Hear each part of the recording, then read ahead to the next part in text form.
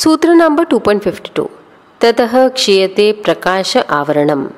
By that, the veil over the manifestation of knowledge is thinned.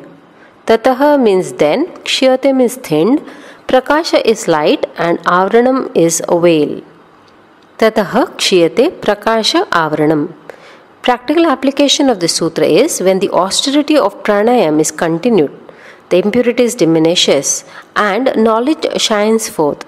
This sutra states that knowledge is present in us. We just have to remove the impurities covering it. So, not much scope for grace, but self help is advised.